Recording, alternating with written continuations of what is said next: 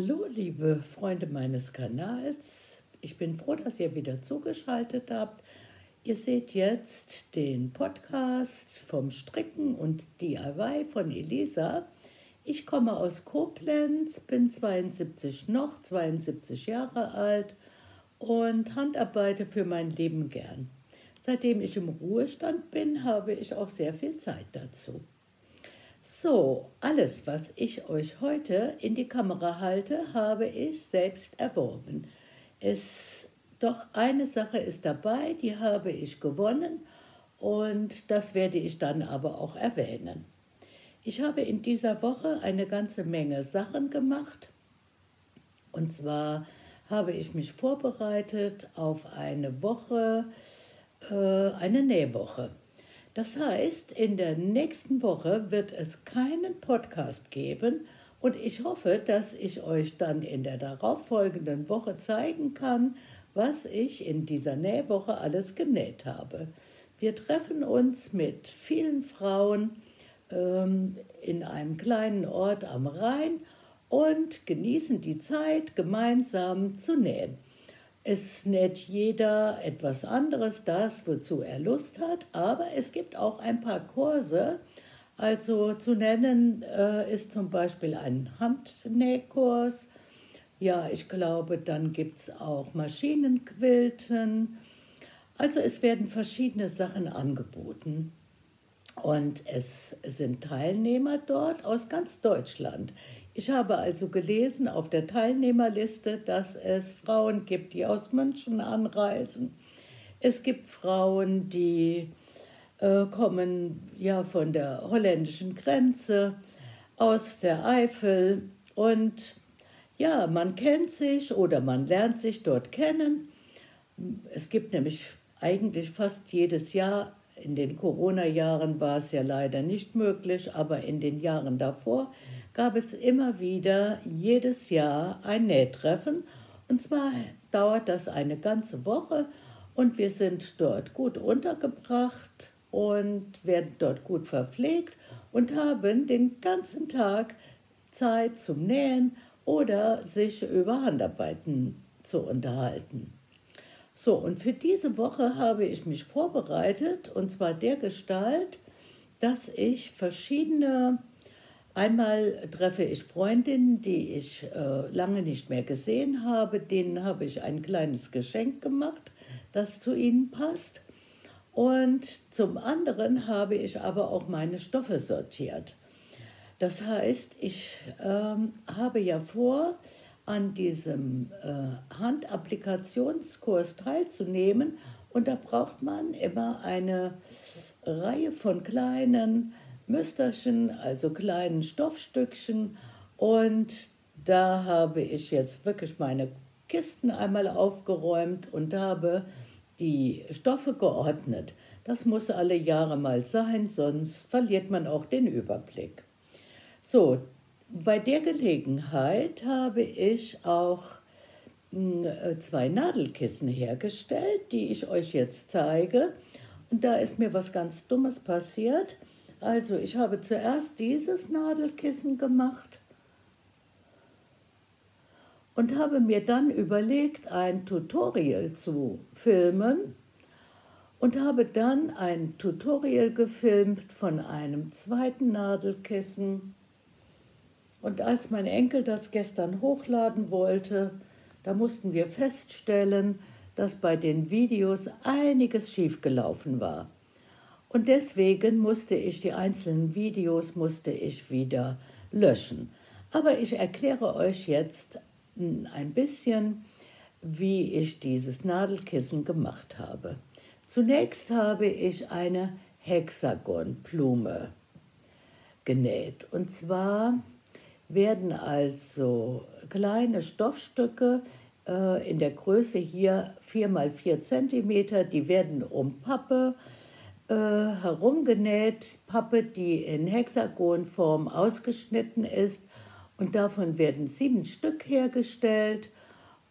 Eins für die Mitte und sechs für außenrum. So, und dann habe ich einen neutralen Stoff genommen, also hier in dem Fall diesen gepunkteten und habe dann zwei Kreise darauf gezeichnet. So. Dann wurde die Hexagonblume in die Mitte des Kreises genäht. Danach wurden die beiden Stoffe, die beiden Kreise rechts auf rechts übereinander gelegt, wurden aufeinander gesteppt, gewendet und mit Füllwatte gefüllt. Nachdem das geschehen war, äh, habe ich dann hier diese Fäden gespannt, das ist Sticktwist, um diese Einteilung zu bekommen, habe das Nadelkissen mit zwei Knöpfen versehen, um es ja, zu befestigen. Danach habe ich einen Knopflochstich außenrum gestickt. Dann entstehen immer solche Schlingen, da wurden dann zwei Reihen feste Maschen reingehäkelt und dann hier diese Zackenspitze. Also die Videos waren alle ganz schön, bis auf die letzten beiden. Also hier bei diesem Arbeitsschritt und bei diesem ist dann etwas schief gegangen, sodass ich ja das Video leider nicht hochladen kann. Wenn ich mal Zeit habe, wenn ich wieder zurück bin von meiner Nähwoche, dann versuche ich das Ganze noch einmal, denn man braucht immer mal ein kleines Geschenk für eine nähende Freundin. Jetzt habe ich zwei, die werde ich also mitnehmen zur Nähwoche und werde die beiden dann erst einmal verschenken. Und nachher, wenn ich zurück bin, zeige ich euch erstmal meine Ergebnisse und zum anderen zeige ich euch dann ein Tutorial indem ich ein neues Nadelkissen herstelle. Letztlich mache ich das sehr gerne und insofern macht es mir nicht viel aus, noch ein drittes Nadelkissen zu machen. In der Art habe ich schon öfter welche gemacht und habe sie verschenkt, habe sie sogar auch hier in diesen freien Stellen bestickt. Mal sehen, wie ich es mache. So, dann habe ich diese Woche äh, mehrere Utensilos hergestellt. Und zwar fand ich in meinen Stoffvorräten Softshell und äh, diesen Stoff habe ich diese Woche vernäht, damit der schon mal aus meinem Vorrat rauskommt. Zwei dieser Utensilos habe ich schon verschenkt und Eins habe ich selbst behalten, und zwar dieses. Also außenrum ist der Softshellstoff. Die finde ich immer so sehr schön bunt, außerdem auch praktisch. Man kann sie mal ein bisschen abwischen. Ja, und innen drin habe ich verwendet einen Damast von einer alten Tischdecke, die ich gelb gefärbt hatte. Hier könnt ihr es noch ganz gut sehen, das Muster der Damasttischdecke. Also bei der Decke, die konnte ich nicht mehr verwahren, die konnte ich nicht mehr auflegen, weil am Rand der Decke schadhafte Stellen waren. Bevor ich den ganzen Stoff dann wegwerfe, färbe ich es lieber und verbrauche den Stoff dann, ja, hier zum Beispiel für das Innenfutter. So, in dem Utensilo findet ihr ein neues Strickprojekt. Das nehme ich jetzt einmal raus. Und zwar habe ich mir mal wieder dieses Buch angesehen, äh, Statements stricken. Ich habe es jetzt hier gerade nicht zur Hand, ich müsste aufstehen. Und da fand ich so einen wunderschönen Kragen. Also das ich weiß gar nicht, was da drüber steht. Ich glaube, da steht nicht Kragen. Ich nehme es doch einmal zur Hand. Moment.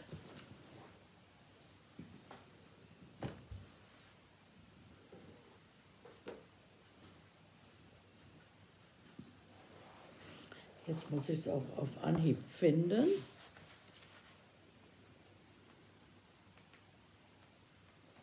Mhm. Also es ist dieses Buch, das ich ja so sehr liebe. Davon habe ich auch noch einen weiteren Band. Und da hole ich mir ja immer gerne Anregungen. Und diesmal für, hm, wie immer, wenn man das gerne direkt zur Hand hätte, dann dauert es eine Weile, bis man es findet. Ach, und zwar heißt das also Pseudo-Pulli. Ich zeige ihn euch mal in die Kamera. Ich muss jetzt nur auf der anderen Seite etwas drüber decken. Das ist also ein Pseudo-Pulli und sowas in der Art möchte ich mir gerne stricken. Ich habe es immer gerne warm um den Hals und deswegen finde ich dieses Projekt genau geeignet für mich. Also diesen Pseudopulli stricke ich aus einer wunderschönen Wolle und zwar hatte ich mir die bestellt bei woolhaus.de. Ich finde die Wolle von Woolhaus ja ohnehin so sehr, sehr, sehr, sehr schön. Ich zeige euch mal, ich habe also mehrere Farben bestellt.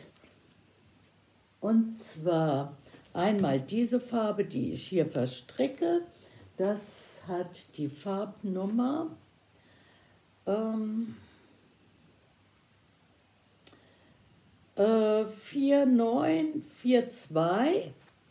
Dann habe ich mir die Wolle hier mit der Farbnummer 4945 bestellt und diese Wolle mit der Farbnummer 4949.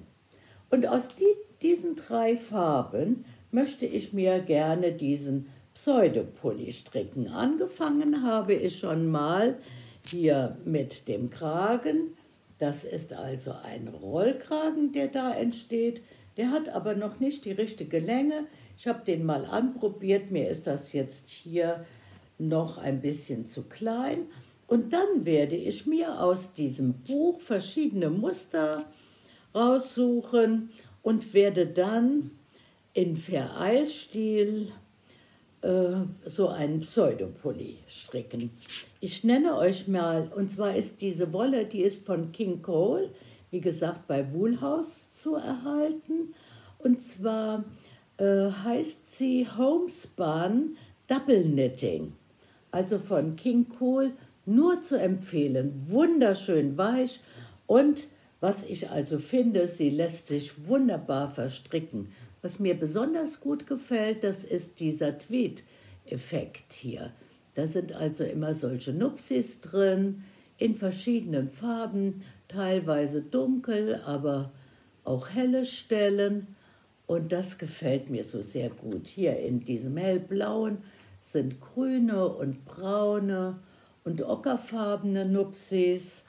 Hier sind weiße drin, hier also nicht ganz weiß, so cremefarben. Dann gibt es dunkelbraune Stellen und ja, auf diesen Pseudopulli, da freue ich mich ganz besonders.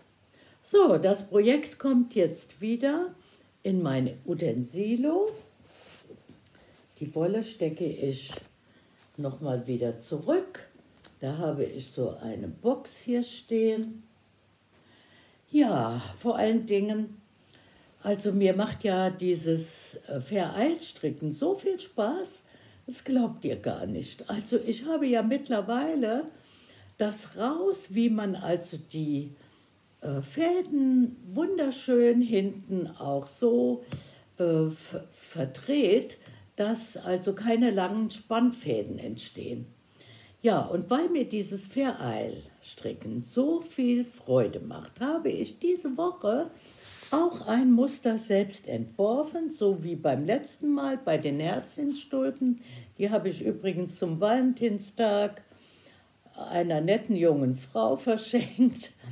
Äh, die zu mir kommt und Deutschunterricht nimmt. Also äh, ich bin da gefragt worden, ob ich äh, bereit wäre, eine ausländischen Mitbürgerin, die erst vor vier Wochen nach Deutschland gekommen ist, ob ich ihr Deutsch ähm, beibringen möchte. Und das macht mir auch richtig Spaß. Und vor allen Dingen diese junge Frau, die ähm, ja, hat auch Interesse am Stricken, sodass wir, dass ich ihr auch das Stricken beibringe. Und sie hat also sehr viel Freude dran. Und zwar habe ich jetzt, damit sie nachher ein schönes Stück hat, habe ich ihr Maschen angeschlagen für einen Loop und zwar aus einer Wolle, die ich noch in meinem Vorrat hatte. Und bis jetzt hat sie gelernt, rechte Maschen stricken, linke Maschen stricken. Äh, und gestern war sie hier, da haben wir äh, ein Lochmuster gestrickt. Also ich habe ihr gezeigt, wie man Löcher macht, also mit Umschlag und zwei Zusammenstricken. Ja, und da sie am Valentinstag auch bei mir war, hatte ich ihr die Herzchenstulpen geschenkt. Oder vielmehr, ich hatte ihr gesagt, sie darf sich von den Stulpen, die ich in letzter Zeit gemacht habe, welche aussuchen. Und dann hat sie sich die grünen mit den roten Herzchen ausgesucht. Kann ich verstehen.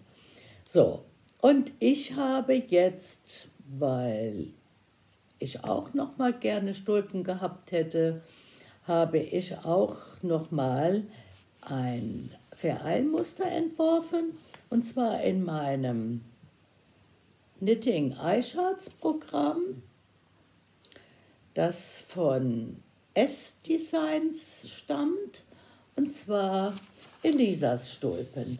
Wenn ihr möchtet, könnt ihr euch davon einen Screenshot machen. Dazu habt ihr jetzt Gelegenheit.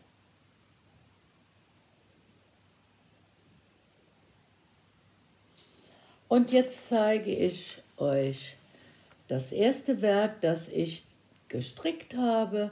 Sieht so aus. Und zwar habe ich genommen die Wolle aus Lettland, aus Riga, von Hobbywool. Also die ist zwar sehr robust, die Wolle, aber das Stricken von Vereil, das geht mit dieser Wolle besonders gut, weil ja, die Wolle verhakt sich sofort, weil sie so robust ist. Also ich habe zwei Farben gewählt, einmal dieses Lila und dann dieses pinkfarbene und habe diesen Stulpen gestrickt oder diese heißt es der, der heißt ja die Stulpe. Also diese, diese Stulpe gestrickt und dann habe ich aber, weil meine Tochter schon gerne auch diese Stulpen möchte, aber nicht so lang haben wollte, habe ich sie also noch einmal nur bis zur Hälfte des Musters gestrickt, also bis hierhin. Und schaut mal, ich finde, das sieht also auch sehr schön aus. Ich ziehe mal beide an. Hier, die werden also für mich werden, weil ich es ganz gerne ein bisschen länger habe. Also das Muster so abgestrickt, wie es auf dem Eichart zu sehen ist. Und hier nur bis zur Hälfte gestrickt. Hier das Muster in der Mitte kommt nur einmal vor. Die Stulpen werden für meine Tochter werden. So.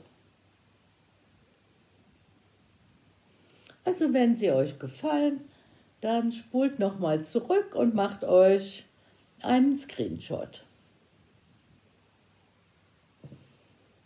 Ja, diese Woche hatte ich sehr viel Zeit zum Räumen, Stricken. Ich hatte wenig Termine, also nur einen einzigen und das tut manchmal auch ganz gut. Und deswegen kam ich also sowohl zum Nähen zum Aufräumen und zum Stricken. So, was habe ich heute an? Wieder ein ganz altes Tuch.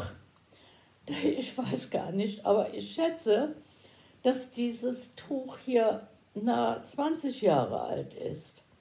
Und zwar ist es gestrickt aus einer Wolle, die ja in einem Supermarkt gekauft ist. Deswegen weiß ich gar nicht mehr, welches Garn das genau ist. Also es ist so ein, ein, ein Garn, das, wie gesagt, in den Supermärkten auch angeboten wird. Ich schätze, dass es mit Nadelstärke 3 oder 4 gestrickt ist.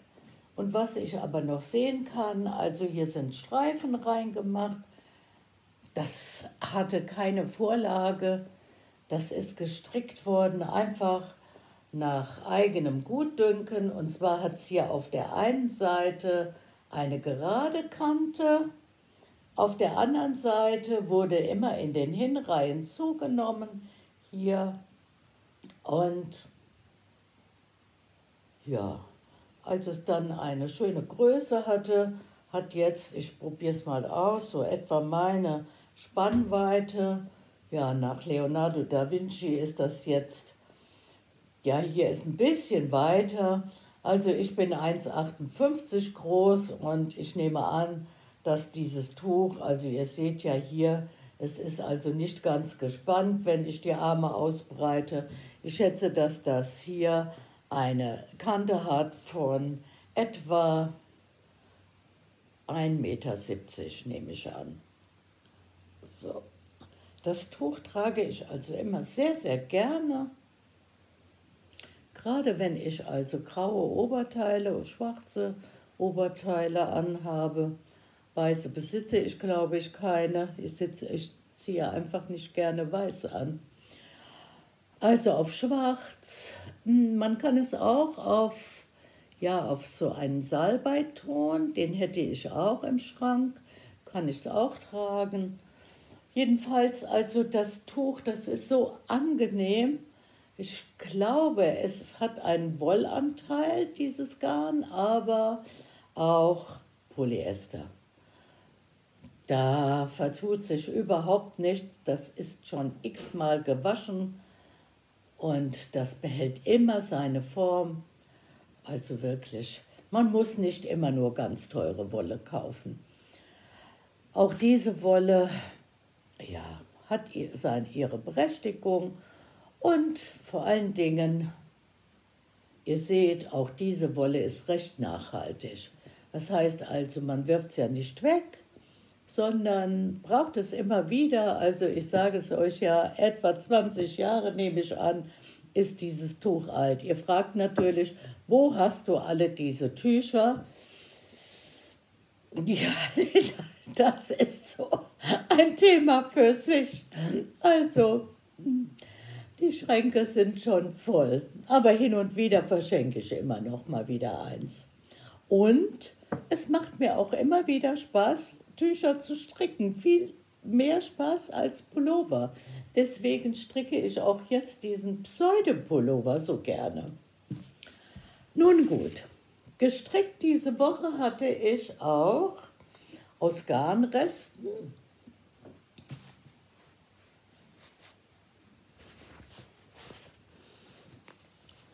diesen Bandana, diesen sanft Flower Bandana. Im letzten Video habe ich euch genau gezeigt, von wem dieses Design stammt. Ja, und ich habe es fertiggestellt und finde es super, super praktisch. Schaut. Vor allen Dingen habe ich ja ein grünes Kleid mit gelb-weißen Punkten und ich finde, das hat auch wieder so einen großen Ausschnitt. Und wenn ich alles leiden kann, aber diese großen Ausschnitte, die habe ich immer gerne verdeckt. Also ich trage gerne Kleider, aber wie gesagt, ja, ich brauche ja auch eine bestimmte Größe, weil ich doch in der Oberweite ziemlich kräftig bin. Und dann sind die Kleider oft ziemlich weit ausgeschnitten, sodass ich, also eigentlich passen diese Sachen oft nicht am Hals, die sind einfach zu weit und deswegen trage ich immer gerne solche Tücher und dieses Bandana, Sunflower Bandana hier, das finde ich also äußerst praktisch. Ich habe es mit einer dickeren Wolle gestrickt als jetzt die Designerin. Ich habe ja drei Fäden genommen. Einmal war das eine Wolle von, äh, von der Wollfabrik, eine handgefärbte Wolle, die auch sehr schön war. Die hat nämlich den Farbverlauf hier mit diesem Grün und mit dem Orange dann habe ich eine gelbe Wolle dazu genommen, also einfach nur ein ganz normales gelbes Strumpfgarn und habe von Lana Crosser äh, die Silk Hair verwendet. Und insofern ist das natürlich ganz kuschelig. Aber ich finde, man kann es sich auch so einfach nur über die Schulter legen ich finde es auch so sehr schön. Besonders gut haben mir hier diese gestrickten Zacken gefallen, die auch wirklich sehr leicht herzustellen sind. Ja, und hier in der Mitte, da gab es ja dieses Herzchenmuster und hier auch, also zwei Streifen mit tiefer gestochenen Maschen. Wie genau, ja, das kann ich jetzt nicht erzählen, weil die Anleitung ist ja eine Kaufanleitung. Also Bandana, Sunflower. So. Ich habe mir hier einmal zurechtgelegt. Hier habe ich noch meine ja, Wollkette. Ich glaube, die findet man auch auf irgendeinem Video von mir. Ich weiß es aber nicht genau, ich denke schon. Da habe ich also einfach nur eine Schnur gestrickt, hier hin und her rechts, also die rollt sich dann, gar nicht wahr, glatt rechts, sodass sich das rollt und habe dann solche Stoffperlen dran genäht. Ich meine, ich hätte das schon mal in einem Video gezeigt. So. Was ich beim Aufräumen auch noch gefunden habe, was ich demnächst aber auch fertig mache, äh, ein, einen kleinen Quilt, der noch nicht fertig ist für den Garten. Bald hoffe ich, können wir ja wieder mal draußen sitzen. Oft ist es ja schon im März aber manchmal erst im April, Mai. Und da habe ich mir für meinen kleinen Tisch auf meiner Terrasse, habe, bin, mache ich mir einen äh, Grandma's Flower Garden. Also etwas abgewandelt und zwar wird dieser kleine Quilt, der wird gemacht aus diesen Hexagonblumen. Ich zeige euch mal, wie weit ich damit gekommen bin. Und wie gesagt, ich habe ihn mir jetzt hier zurechtgelegt, damit ich immer mal, wenn ich Zeit habe, noch ein Blümchen herstelle und hier dran nähe. Also das hier werden die letzten Blumen sein. Also ich muss noch hier diesen graufarbenen Rand hier ergänzen. Da habe ich noch Stoff, den ich dazu verwende.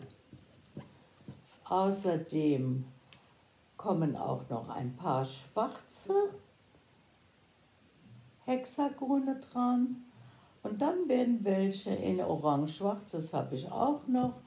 Ja, und von diesen orangefarbenen Stoffen, da finden sich, glaube ich, noch einige Reste in meinen Stoffvorräten. Ich zeige euch mal, wie schön ich die jetzt auch geordnet habe. Tja, ich bin ganz stolz, dass ich diese Woche mal geräumt habe. Also, ich habe meine kleinen Stoffreste habe ich hier in diese Box reingegeben. Die Box, die hatte ich mir mal hergestellt. Und zwar ist das eine Kühlbox, die ich bei Ikea gekauft hatte. Und auf den Deckel der Kühlbox habe ich dann hier diesen Patchwork-Block genäht. Und zwar von Hand aufgenäht und auch hier ein Rand. So, und den habe ich jetzt diese Woche versehen mit meinen kleinen Stoffresten. Schaut mal, wie schön das aussieht. Also, ja, das sind Stoffreste drin von vielen, vielen Jahren Patchwork-Arbeit. Ja, und was mir überhaupt nicht mehr gefallen hat, das ist dann wirklich auch mal in der Mülltonne gelandet. Aber ihr seht, hier werden sich noch einige orangefarbene Stoffe finden. Also hier sieht man ein Hervorblitzen mit Orange. Gelb kann ja auch genommen werden. Hier sind orangefarbene. Und dann hat mir aber auch noch eine Freundin eine Tüte gebracht mit ganz kleinen Resten, die ich ja mit kleinen Blümchen und da sind auch einige orangefarbene dabei. Also es gibt viel zu tun. Und ich kann euch nur dazu animieren, setzt euch hin, beschäftigt euch mit Handarbeiten. Also, ihr glaubt gar nicht, für was das alles gut ist.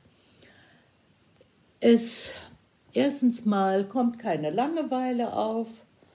Zum anderen hat man nachher schöne Ergebnisse und man hat immer ein kleines Geschenk zur Hand wenn man jemandem, den man mag, etwas schenken will. So, ein bisschen weiter gestrickt habe ich auch an meinem Halbmondtuch nach der Vorlage von Sylvie Rasch und mit der tollen Wolle von Karle Nessa. Schaut mal, also sehr viel werde ich da nicht mehr stricken, denn es, ich habe mal gewogen, es sind nur noch ein paar Gramm und das letzte, ein paar Gramm Wolle da. Und das letzte Drittel der Wolle braucht man für einen Rand. Also es wird jetzt, es werden noch vielleicht zwei Reihen hin und her gestrickt. Und dann kommt der Rand dran. Und dann kann man dieses farbenfrohe Tuch Halbmondtuch auch wunderschön um den Hals tragen und es hat seine Wirkung. Schaut, ich finde es einfach immer schön, solche bunten Sachen zu tragen. Also das wertet jede Kleidung, jede einfache Kleidung auf. Das hier ist ein, ein graues T-Shirt. Ja, da, also das ist jetzt nicht so sehr einfach. Das sind hier so gar solche Sashiko-Stiche drauf, fand ich damals sehr schön. Aber es ist halt grau und mit einem schönen bunten Tuch. Also ich finde auch pink oder ganz rot finde ich schön dazu. Ja, damit kann man also immer wieder ein anderes Aussehen erreichen. So. Ja, für heute soll es mal wieder gut sein. Mehr kann ich euch nicht erzählen. Wie gesagt, nächste Woche werdet ihr mich nicht sehen. Bleibt mir bis in 14 Tagen gesund. Beschäftigt euch. Strickt euch Stulpen. Ich kann nur immer sagen, ran an die Nadeln. Oder macht euch einen Projektbeutel. Oder was auch immer. Oder häkelt euch irgendwelche Scrannies heißen, heißen nicht Scrannies, heißen Grannies, Grannies, also ja, nicht Scranny, das habe ich jetzt verwechselt, glaube ich, mit diesen, ja, mit diesen Haargummis. Ich glaube, die haben, ja, also mit, mein, mit den Namen, das finde ich immer ganz schlimm bei mir. Aber das nimmt auch zu mit dem Alter. Ich kann euch nur darauf vorbereiten. Es ist einfach nur schlimm. Also ich habe jetzt sprechen wollen von den Grannies. Da hatte ich euch ja schon mal ein Buch in die Kamera gehalten und sage dann Grannies. Also ja, das ist einfach so, wenn man Videos aufnimmt, dann ist man oft nicht Herr seiner Sprache. Aber in diesem Sinne, liebe Leute, bis nächste Woche. Alles Gute, eure Elisa.